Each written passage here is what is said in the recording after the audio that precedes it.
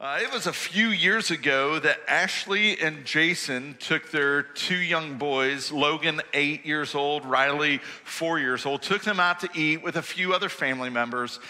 And once they finally got to the table after a long wait, little Riley, four years old, began throwing a fit. He was getting pretty frustrated. He was tired. He was.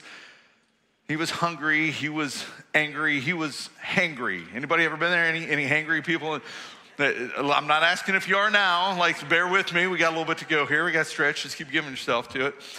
But that made it a little worse, right? Because he's four years old, and you know, a hangry four-year-old can be tough to console.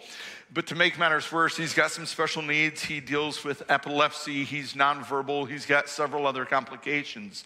So when the waitress approached their table um, with the look in her eyes and uh, tear filled eyes, they were afraid they were going to be told either console him or you got to go because it was getting a little bit disruptive for other people. But what the waitress told them was hey, there's a gentleman here in the restaurant. He and his family want to bless you and provide for your meal. And they said, order the most expensive thing and get dessert too. It's all on them because God only gives special boys like that to special families like yours. Now, what a blessing that was for that family. What a beautiful blessing. That anonymous guy blessed them in more profound ways than he could probably imagine, with more than just a physical provision of food, but a spiritual provision of sustenance and encouragement for them. Now, you may have been at a place or a time when you've had somebody provide a meal for you, or you've maybe had to miss a meal. And most of us, when we get hangry, right, if we miss a meal, it's probably not going to be the end of our lives. Although, if you're hanging out with the Fitz fam and we get hangry, you're probably going to wonder who's going to kill who. It, there's going to be a loss of life in the Fitz fam when we get when we get like that. But you know, for most of us, we might actually benefit from missing a meal or two if we're really honest with ourselves. But that does not diminish the blessing that it is when somebody provides a meal for us or the blessing we receive when we get to provide a meal for someone else. And today, we're jumping into week 16 of Quest 52. It's the devotional we're using in our pursuit of Jesus this year. It's the guy that's helping us dig into God's Word, the Bible, to get to know Jesus better. If you don't yet have a copy of this, you can pick up a discounted copy for yourself and some discounted copies to share with friends as well. We encourage you, don't just read this on your own, read it in connection with others. Join a small group, get some friends together, talk about it throughout the week.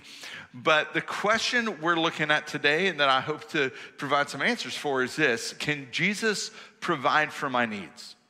Because we've all wondered that at some point. Can Jesus really provide for the needs in my life? And today we're going to dig into Mark chapter 6 to find the answer to that. But the spot we're going to start with gives us a little context for what's going on. Mark chapter 6, verse 30. The apostles returned to Jesus from their ministry tour and told him all they had done and taught. Jesus had sent his followers, sent his disciples out in pairs, two by two, on this ministry assignment. He'd sent them out to teach and preach the good news that the kingdom of God is at hand. And they had returned to him and they were telling him all the good that they had seen. That they had been teaching and they had been preaching this good news, but they had also been healing people and casting out demons. And they were like, God was doing this through us. And they had seen God do those things through Jesus, but now they were the, the conduits of God's power. Now they were recipients of all that was going on, and they were just so excited. So we have that going on with the disciples, his followers, but at the same time, while they were out on the ministry assignment, Jesus had received word that his good friend and his cousin John, we know him as John the Baptist, better known maybe as John the Baptizer or John the Immerser, that's what his name really means, John the Immerser, that he'd gotten on the bad side of the king's wife because he was calling out the king and his wife for some unholy behavior. And that doesn't get you in good standing with royalty. And so he got himself in trouble with the king's wife and the king, and he got himself beheaded.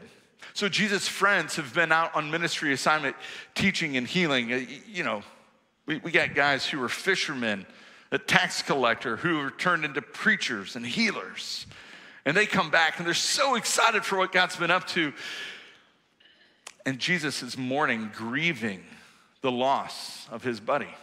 He's grieving the brokenness of a world that esteems crooked kings and kills good men like John.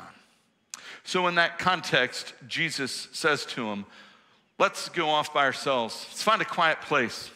Let's rest a while.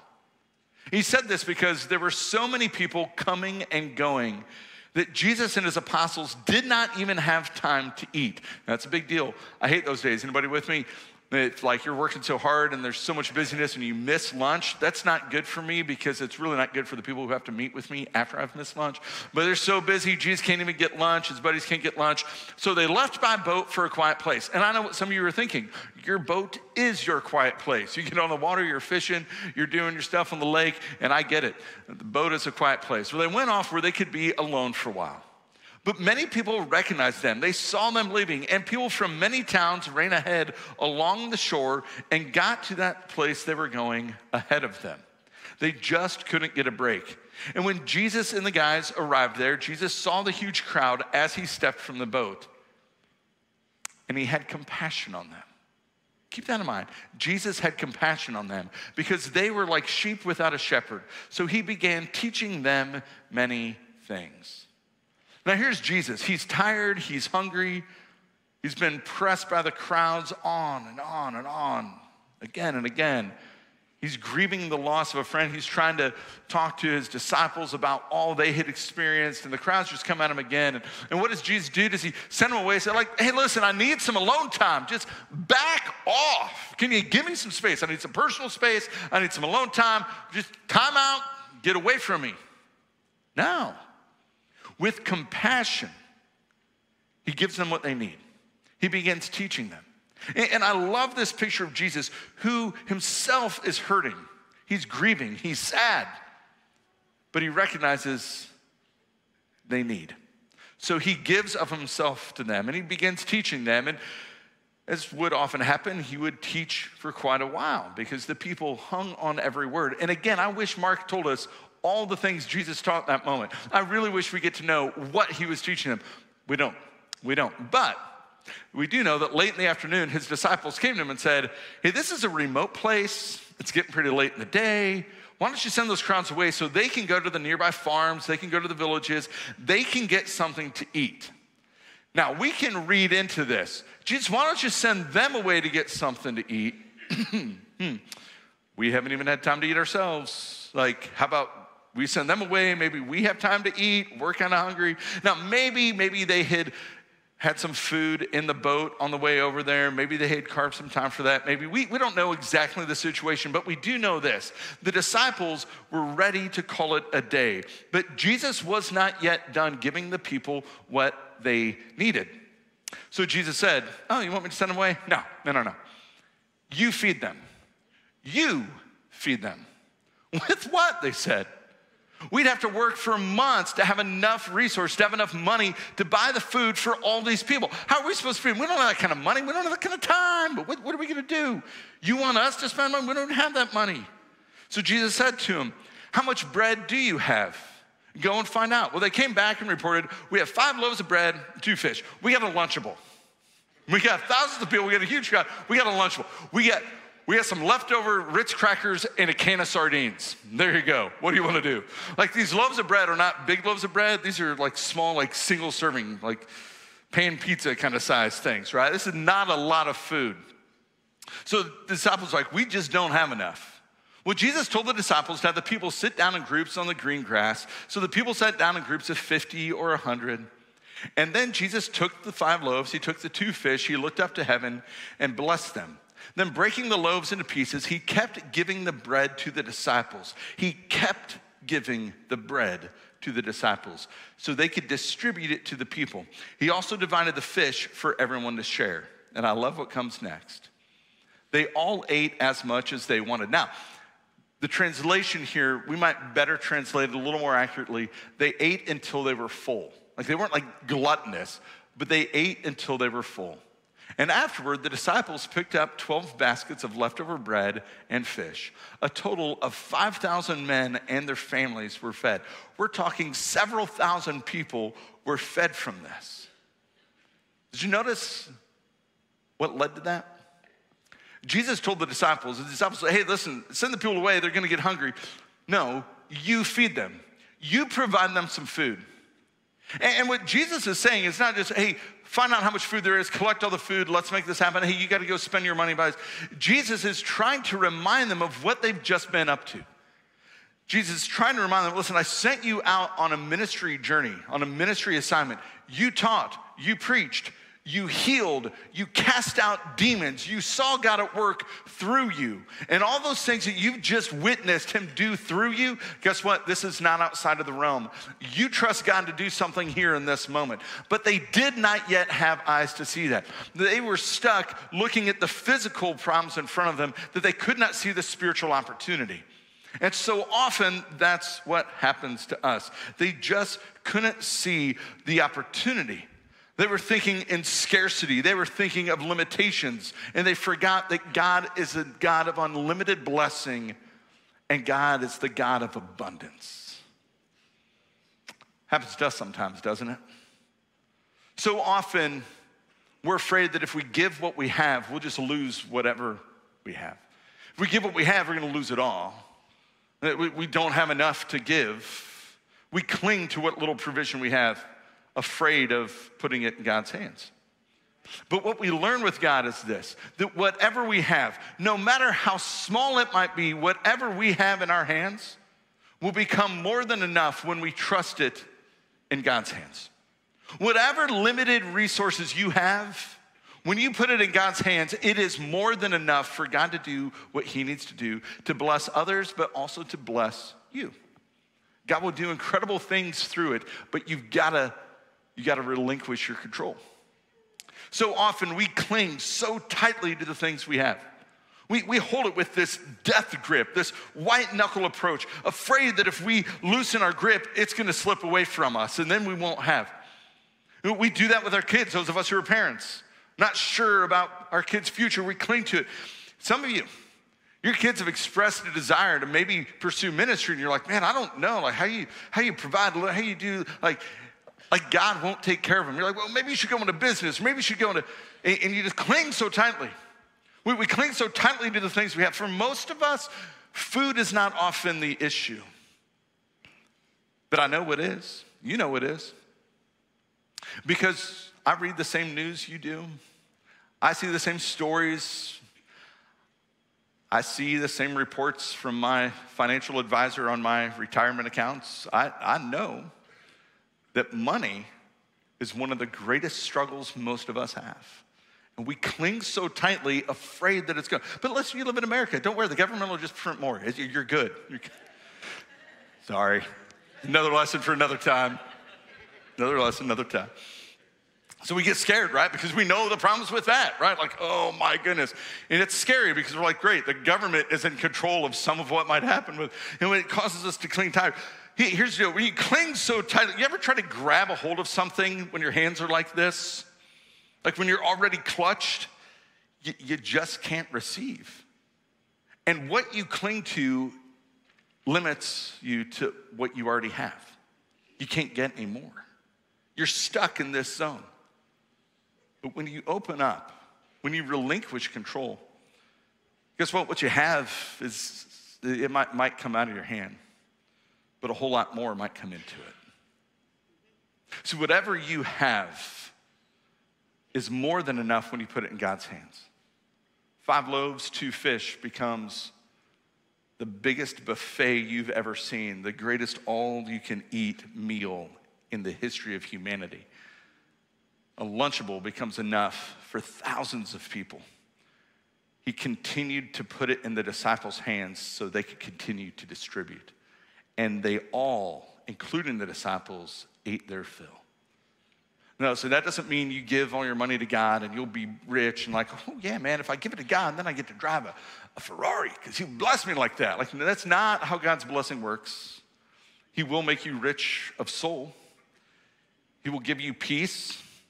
He will make you rich with the stories of being in partnership with Him as He blesses others through you and you will be totally taken care of. You need not worry about putting it in His hands. But if you cling too tightly, you will miss out not only on the blessing of helping others, but on the blessing of what God wants you to receive.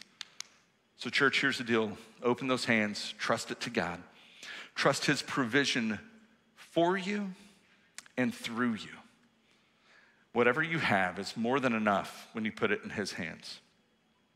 Well, immediately after Jesus feeds all those people with a can of sardines, Jesus insisted that his disciples get back into the boat and head across the lake to Bethsaida. And he said, You guys go in the boat, you go back there, and I'm going to send the people home. So after telling everyone goodbye, bye bye, he went up to the hills by himself to pray. I think Jesus was getting time to do what he originally set out to do all along, what he actually wanted to do with his day. He was sad at the loss of a friend. He wanted to get some alone time with God the Father and grieve, to sit in the sadness, to lament, and to remind himself that that's not the end of the story.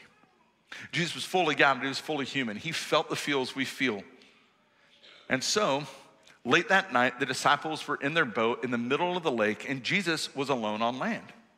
And he looked down in the water. He saw that they were in serious trouble. They were rowing hard and struggling against the wind and the waves. A storm was brewing against them. Not the first time they've been in a storm. About three o'clock in the morning, Jesus came toward them. Isn't that great news? That Jesus comes to us even in the storm. We're struggling in life, and Jesus comes and He meets us where we are. And He'll do whatever He takes, He'll break through whatever barriers He has to break through to make it happen. He walked on the water to get to them. He's gonna break through whatever you need Him to break through to get to you if you are moving in the direction He's asked you to go. But check this out He intended to go past them. Now, that translation of that right there, I, I don't love. I, I think we we can capture that in a little bit better language. And I love the New Living Translation. That we use the New Living Translation. I use it here because it's an accurate translation and it's one of the easiest for all of us to understand. That's why we use the New Living Translation. But the New American Standard, just like all the translations, you have people translating from one language into another. Sometimes there's a little bit better way, a little way to nuance it a little bit more. The New International Version, the English Standard Version, the New American Standard translate this a little more accurately. He intended to pass them by. To pass them by. And that language is the same language used in Exodus 33 19. What Mark is using here in his gospel is the same language that's used in Exodus 33 19. And that's a passage where God passes by Moses. God and Moses had been having this interaction. They were dialoguing with each other. God, Moses had met with God on a mountaintop, but God was veiled. He was there, but his presence, his full presence, was veiled from Moses. So Moses is interacting with God, but not exactly looking in God's face. And in this, God tells Moses, Moses, you have my favor on you. My favor rests upon you, Moses. My presence will always go with you. Moses, I know you by name. This is this beautiful passage, Exodus 33, so rich in meaning, not just for Moses, not just for the Israelites of his time, but for all of us who follow God. I encourage you to look it up sometime, spend some time in Exodus 33. It's this beautiful picture of, of interacting with God. So he has this remarkable, Moses has this remarkable interaction with God, and it's this beautiful thing filled with so much richness. And then Moses makes this bold request of God, and he says, God, show me your glory. I want to see you in your glory. And God says, oh, okay, what? You want to see my glory? Well, nobody can see the fullness of my glory and live because it's too much for you. So God responds to Moses this way He says, I will make all my goodness pass by you, and I will call out my name, Yahweh, the Lord, before you. I'll pass by you, and I'll give you my name. I'll call my name. So Moses says, Show me your glory. God gives him a twofold response. First, I'll make my goodness pass before you. And the word Mark uses in his gospel for pass by is the same language used in this passage in the Septuagint that I know we're getting a little geeky here, just stick with me. The Septuagint is the Greek translation of the Hebrew Old Testament. So just like most of us don't speak Hebrew or Greek, and we don't read it, right? Anybody in here proficient Hebrew? Right. So we read it in the English. We trust other people to translate it for us. Well, most of the people in Jesus' time, a lot of those people did not necessarily speak in the time after, right? Did not speak that. So there's a Greek translation of the Old Testament called the Septuagint. And the same passage, the same word in the Septuagint used in Exodus for pass by is the same word that Mark uses in his gospel. The word is parerchomai. Parerko. Say it with me. Parerchomai. Say it again. Parerchomai. It's just fun word to say. There's no point in saying it, so it's just fun. So it's the word means to pass by. And it's this concept that God will pass by. And so when Jesus is there on the water intending to pass by them, it's a picture of God's glory coming. Now we use similar language. We use similar language, right? Because if you tell someone to come over to the house, say, hey, come on over, come by at whatever time, right? Uh, come on by. Oh, I'll stop by. Oh, I'll swing by to pick you up. I'll be by your house at such and such time. We, we use similar language. And this is the language of coming by, not just I'm gonna walk by and give you no attention. I will pass by and you will see me in this moment. So God is revealing himself to Moses. Or sorry, well, he did reveal himself to Moses. Here, Jesus, as God, is revealing himself to the disciples. So we return to Mark's gospel. When they saw Jesus walking on the water, they cried out in terror, thinking he was a ghost. Because you don't have a bucket in your brain for, hey, we're in the midst of a storm, the winds and the waves are just pummeling us. Oh, here comes our buddy walking through the storm waters, right? Like you just don't, and like, so they don't have a bucket for what Jesus is doing. And they're all terrified when they saw him. But Jesus spoke to them at once. Don't be afraid. You don't have to be afraid of me. That's me. Take courage. I am here. So, the physical struggle they had to make headway in the storm is also a metaphor for their struggle to understand just who Jesus is. The disciples had been spending tons of time with Jesus, and they still didn't fully grasp who he is. And it scares me as a pastor, to be really honest with you. That you can come here week after week, you can do all the ABFs and hear all the sermons. You, can come year after year, decade after decade. You'd be in the small groups, You'd do rooted. In my rooted peeps? Woo! All right, if you're not done rooted, it's kicking up in a few weeks. Sign up, it is worth it. Like you do all the stuff, you can group and you serve, you do all that stuff. And you get close in proximity to Jesus and to Jesus' people. You read all about him, have all the information and you still miss who he is. So, Jesus' invitation is not just to know about him, it's to know him. To know him as friend, to know him as rescuer of your soul, to know him as Lord and King of kings who deserves your allegiance and your worship, but to know him, not just know about him. And just like the disciples in that moment, man, we can be so close and just not get it. Church, my prayer for you is that that would never be you. That, that, that's why we're doing what we're doing this year. That's why I encourage you to jump into this and read, and not just read what Mark Moore says about the, the passage each week, but read the passage, the, the gospel passage, the New Testament passages, the Old Testament passages, and watch how God's story unfolds the seamless theme from beginning to end of Scripture that points us to Jesus who desires relationship with us for eternity. That's why He's done everything He's done, because He wants to hang out with you not just for you to know some facts about him. So, in light of all of that, Jesus reveals his divinity to the disciples. He's passing by them, this picture of God revealing himself. And then the language he uses to say, it's me, to say, I am, in the Greek is ego eimi, ego eimi. Now, normally in the Greek language, when somebody said, hey, it's me, they would just say, eimi. This is like it's kind of scaled down version. Because ego eimi is a very formal way of saying it. And if if someone were to say ego eimi, it would be like, well, that's blasphemy because you're kind of taking the name of God in that. And the way Jesus said it, and the context in which Jesus said it, he's saying, I am.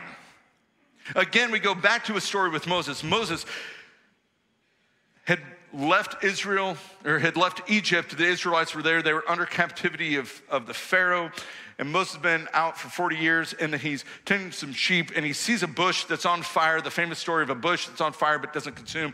And the bush starts talking to him and tells him, Yo, Mo, go back to Pharaoh, tell him, let my people go. Moses like, Hey, bro, who should I tell him? Right? Listen, I know that's, go with me, I'm a dad. You're not gonna forget that part now, right? Do the rhyme, it sticks in your brain, it's good, right? Because Moses is like, listen, if I tell him a bush that was on fire, said it's gonna be like, dude, that was a bad acid trip. You ate some bad mushrooms. You're like, I need something more. And so he's like, what am I supposed to do with this? And God says, I am.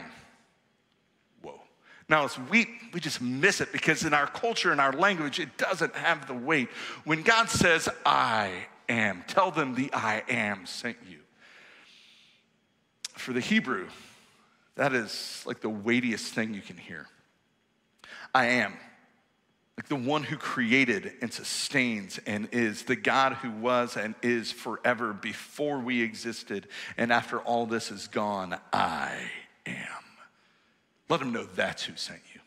Oh, okay, now we're good. So Moses goes to Pharaoh, hey, let the people go. Pharaoh says no. Moses says, listen, bro, you better let him go. And all that stuff happens. And then the Exodus and on and on. Thousands years later, here we are, Jesus back in the boat with the guys. Jesus climbs into the boat with these guys. And what we see is that courage comes. Let's go back to that last passage. When he says, Take courage, it's me. I am. He is passing by a picture of Moses. He is speaking, I am, a picture of what God says to Moses. And here we go. What we see, he says, Take courage and don't be afraid because I am God and I am near. And courage is not something we muster up within ourselves. Courage does not come from what we have and who we are. Courage comes from knowing who your God is and knowing He is near to you. Courage comes from knowing that if God is for you, who can stand against you? If God is for you, which He is, because the cross speaks that He is for you, not against you, that He came to rescue you and not to condemn you, that He loves you and He desires relationship with you. And when you recognize who God is and that He is near, you have courage. You need not fear anything else. Like, that's good news, church. So Jesus climbs into the boat with these guys. And the wind stopped, and they were totally amazed, for they still did not understand the significance of the miracle of the loaves. Their hearts were too hard to take it in. Now, a hardened heart in Scripture, in the biblical context, sometimes, oftentimes means because our sin has hardened us so much in a rebellion against God we've built up these calluses, these spiritual calluses against God to the point where we don't let God break through. But sometimes the hardened heart is simply because of, yes, the ongoing sin in our lives, but also the brokenness of the world around us that has so confused us and misled us. And we just have lost the fertility of the heart soil that God's got to break through. So, church, here's the deal make sure you are cultivating a sensitivity for the Holy Spirit to be able to speak to you. Be willing to relinquish your pride. Be willing to relinquish your stubbornness. Be willing to consider that the things you hold most near and dear are the very things God might say, that's an idol, and you need to give it up. If you want to know the strongest idols in your life, just start giving stuff away. And the things that you can't let go of, that's the place God wants to do some work in your soul. And so their hearts are hard. But what I love is that Jesus comes near, he gets into the boat, even when they don't understand, even when their hearts are hard. And that's really great news for us, church, because here's why. Too often we get in our minds that God is only going to come near to us, God's only going to show us his glory, God's only going to show up, God's only going to reveal himself when we get it all together, when we are righteous enough, when we're holy enough, when we're doing all the right things, if I'm praying enough, if I'm reading my Bible enough, if I'm giving enough away, if I'm serving enough, if I'm grouping enough, if I'm telling enough other people about Jesus, if I'm doing whatever it might be. And the problem is, we can never do enough because that's empty, false religion that Jesus came to break down in the first place. He said it's not about the doing of those things. It's about being. It's about being the child of God and being in relationship with Him. Not that doing isn't part of it, but the doing comes on the backside, not the front side. You don't earn God's favor. You don't become God's favor by doing. It's all what Jesus did for us on the cross. So you come to Him and you be his child. And listen, those things, the, the giving and the serving and the grouping and the reading and the praying, those are not bad things. In fact, those things can help us see more clearly who God is and what He's up to. But they can become bad things when we make it all about those things and all about our performance instead of about the relationship and cultivating a soft heart to hear God's voice. So Jesus comes near. You know, Jesus will come near to you even when you are pummeled by the winds and the waves and the storm. Now, notice how Mark in his gospel ties the miracle of Jesus walking on the water to the miracle of Jesus multiplying the food. He said, Jesus climbs into the boat, the wind stops, which reminds them of a time this has happened before. Remember last week we were talking, if you were with us, they're in the storm, Jesus is asleep, the fishermen are like, We're gonna die, Jesus, wake up. And you know it's bad when they wake the preacher up to like save the boat. And Jesus is like, Ah, storm, quiet, I'm napping. And it calms. Jesus steps into the boat, calms down again. They're like, Oh, yeah who is this man, right? And they were totally amazed, for they still did not understand the significance of the miracle of the loaves. Uh, well, Jesus just walked on water, and Mark's like, hey, remember the, remember the loaves, how he fed everybody? And he's drawn these things together. Because when Jesus walked on water, he was revealing so much to the disciples because they did not yet understand. They understood that Jesus broke some bread and multiplied it to satisfy the hunger of the people. They did not yet understand that Jesus himself is the bread of life that would be broken to satisfy our spiritual hunger and our sin need. They understood that Jesus had power. They did not yet understand that Jesus is power. They understood that Jesus was from God. They did not yet understand that Jesus is God. And so here, Jesus is revealing this. He's opening their eyes, He's helping them see. Remember what Jesus did when the disciples gave him the bread? He took the five loaves and two fish, looked to heaven, blessed them, then broke the loaves and kept giving to the disciples so they could give to others. He gave thanks and he broke it. Here, Mark uses almost the exact same language to foreshadow what happens in the Last Supper. The night before Jesus is crucified, he and the disciples are celebrating the Jewish Passover meal, like this sacred holy meal together. And it's not just a meal of bread and wine, there's like this actual full, robust feast that they're eating. But in that meal, the bread and the wine become most significant because in that meal, this is how Mark records it. While they were eating, Jesus took bread, and when he had given thanks, he broke it and gave it to his disciples, saying, Take it, this is my body. Now, He's speaking euphemistically. This is not literally my body. He couldn't literally be his body because he's still standing there in the flesh with them. He's saying, This is representative of me. Then he took a cup, and when he had given thanks, he gave it to them, and they all drank from it. This is my blood, again, you know, using hyperbole. This is my blood of the covenant, which is poured out for many, he said to them. Jesus, on that beach side with the thousands of people, broke the bread and multiplied it so everyone could eat. On the cross, his body broken, but the blessing multiplied so all could receive. Jesus, on that beach side with the thousands of people, in the midst of his own sorrow and his own grief at the death of his friend and cousin, still had compassion for the people and ministered to their needs. Jesus on the cross awaiting his own imminent death, having been tortured and beaten and nailed to a cross. In his own pain and his own sorrow, cries out to the Father in compassion for the people Father God, forgive them because they just don't understand. So often we just don't understand. And there's so many beautiful parallels here in Mark's gospel, what Mark is revealing to us. When you came in today, you received a cup like this. I want you to flip it upside down, put the cup on bottom, the bread, which is on bottom. Go ahead and take the bread and hold that in your hands. Because every week here at Okolona Christian, we celebrate in remembrance what Jesus did in that Last Supper with his disciples. So hold the bread in your hand and remember what Jesus said This is my body broken for you. And we invite, we, we practice what's called open communion here. We invite anyone and everyone who would say that they have surrendered to Jesus as the leader in their life, that they have celebrated in Jesus, that He is the rescuer of their soul. We invite you, if that's you, to participate with us. And in this, I just want to offer some prompts to guide our thoughts for the next moment. And then we're going to pray together. We'll, we'll eat and drink together in a moment. But at this moment, you go ahead and bow in prayer. And thank God for his compassion on you, even in the midst of his pain.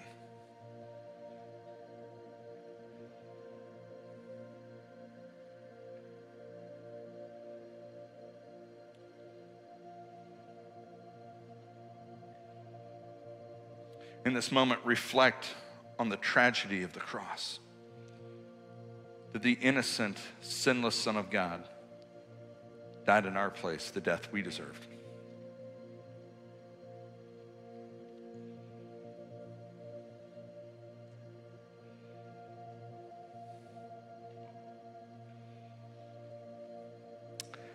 And celebrate the triumph of the empty grave of a risen Savior who's alive still today.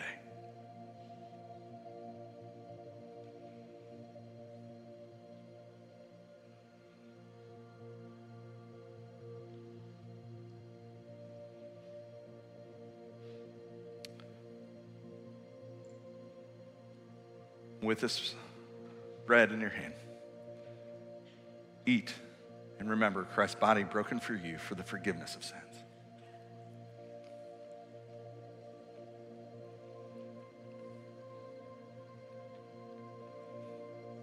And with this cup, remember Christ's blood poured out for you for the forgiveness of your sins.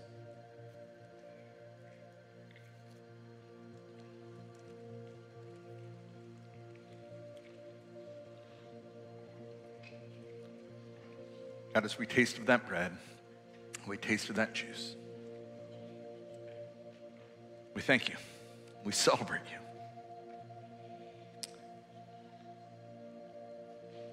That it wasn't just your blood that poured out, but it's your mercy, it's your grace, it's your forgiveness to offer restoration, redemption for all who would turn to you as Lord and as Savior. That we walk in a new life, a forever life, because you surrendered your life on the cross. But you rose triumphant over the grave and you reign forever as King, as Lord. But we can know you as friend. So we praise you because you and you alone are worthy and deserving of all our praise. And all God's people said, Amen. Well, part of the beauty and the genius of what Jesus was doing in those moments was that we are to receive blessing, but also to be a conduit, to be a pipeline of blessing for others. We return to when Jesus took those five loaves, the two fish, he broke, he looked, heaven gave thanks, and then breaking the loaves into pieces, he kept giving the bread to the disciples so they could distribute it to people. He kept giving. They had to give away and then he continued to put more in their hands. And they gave, and he continued to put more. Everyone was fed, everyone had their fill, and there were still leftovers. They received to give, they received to give. And that's the picture of blessing in God's kingdom. That's the picture of what it's supposed to be. You remember when the disciples noticed, hey, it's getting late. Jesus, you've been talking for a long time. These people are getting hungry. I know you're feeling the same thing, right? And it's like, hey, let them go. Let, let them go get some food. And what Jesus said, like, and that's what we're supposed to do. We see a need, we bring it to Jesus. We prayerfully say, Jesus, here's a need right in front of me. I see this need. And we're supposed to do that. But you remember what Jesus said? He said, Oh, yeah, you go feed them. You meet that need. So just get ready because here's the deal. We are supposed, as God's people, we're supposed to look around us with eyes open to see the needs around us. But when we see the need, we're to meet the need. I think we got a slide for that. When you see the need, meet the need. When you see the need, meet the need. When you see the need, bring it to Jesus. Say, Jesus, here's the need. But remember what Jesus said. He said, All right, you go feed them. Like, we don't have enough. So, yeah, we are probably going to wrestle with God sometimes. I don't have enough food. I don't have enough money. I don't have enough supplies. I don't have enough resources. God, I can't meet that need. I don't have enough. And God says, You put it in my hands, get it out of yours, loosen your grip, open up your hands. You'll have more than you need. And I'll bless you also. So you see the need, you meet the need, you put it in God's hands, He's gonna multiply, and He will do amazing things in you and through you and for you. And what a blessing that is. So, church, allow God to multiply whatever you have to meet whatever needs you see. And let me make the application this week super, super simple. Been talking about food, it's almost lunchtime. Here's your assignment for the week go feed someone. Go feed someone. Provide a meal for someone. And maybe the way you're gonna do that is you're partnering with the food pantry. Uh, uh, maybe you'll jump in and start serving in the food pantry. Or maybe you'll take a friend or a family member, you'll go to the store, you'll buy some food, and you'll bring it in, and you'll, you, will you will just bless the pantry with it so they have what they need. Maybe you'll buy some food and some essentials and some toiletries, and you'll just keep a bag in your car. And when you see that person who's holding the sign on the side of the road, you'll, you'll actually give that to him and say, hey, here's, here's something. I hope this helps. Maybe you see that person and you say, hey, well, why don't we go down the street because there's a, there's a restaurant right there, and, and you treat that person to a meal. And it's just one meal. But that one meal might be the game changer. And, and maybe you just, in, just invite them to share their story with you. Maybe it's a neighbor who you invite over to your house for a meal. If you cook like me, maybe you provide a meal from somewhere else. I don't know.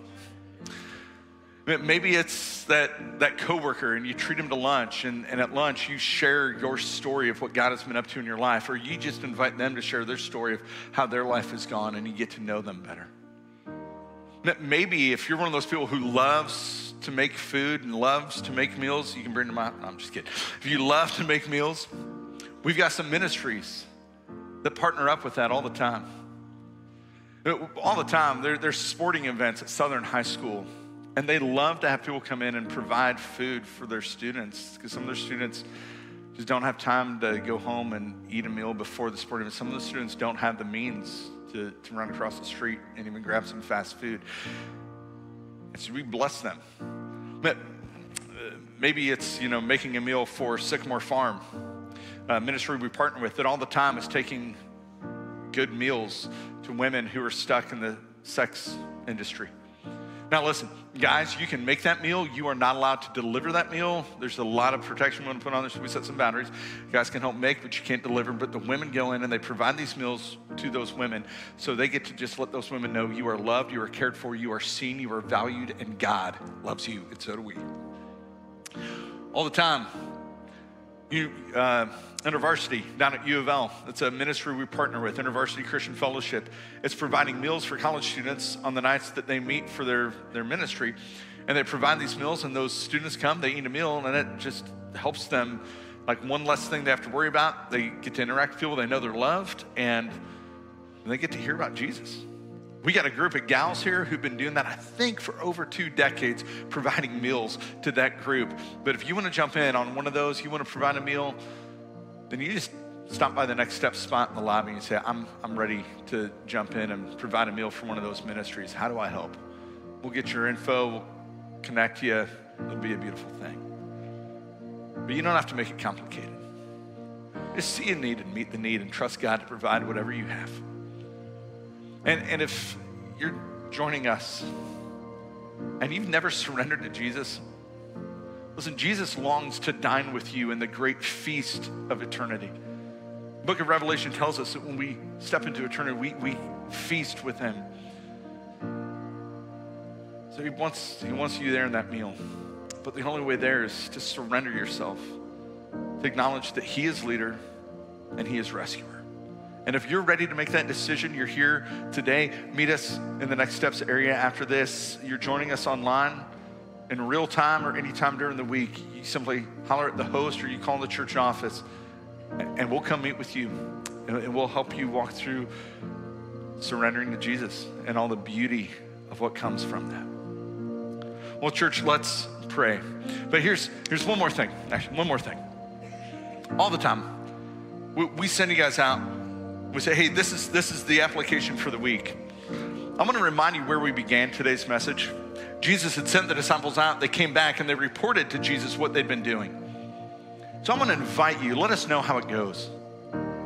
Like, let's all go out and provide a meal this week. Who's in with me? Who is willing to provide the meal this week? All right, awesome. Do me a favor. Call the church office and, and just share with us your story. Hey, I, I, had this meal, here's how it went. Shoot me an email, fitz at okolonacc.org. You can find my, my email on the church website if you forget. It's real easy, my name and the church. Shoot me an email. I'll pass it to the team. We want to hear your stories of sharing your story. We want to hear your stories of sharing the meal because this is what we want to do. We want to celebrate with you what God is up to in your life. Disciples came back, they were so excited. Look what God did through us. As you provide that meal, as you meet those needs, share with us so we can celebrate with you. Will you do that? All right, let's pray. God, we are grateful that you are the one who ultimately meets all the needs we have. And sometimes you do things radical and miraculous, like walking on water and multiplying the food. And sometimes you just meet us right where we are in a super simple way. But God, ultimately, you are. You are God. You are the great I am, and you're the one who provides for every need we have because you are the one who desires that we would spend eternity with you. And so we celebrate that. We are grateful for that. We thank you for that. And so, God, we pray that as we stand and as we sing this last song, that you hear these words of our hearts as praise, as honor that you and you alone deserve as we celebrate you. In Jesus we pray. Amen. Church, let's stand and let's celebrate our risen King.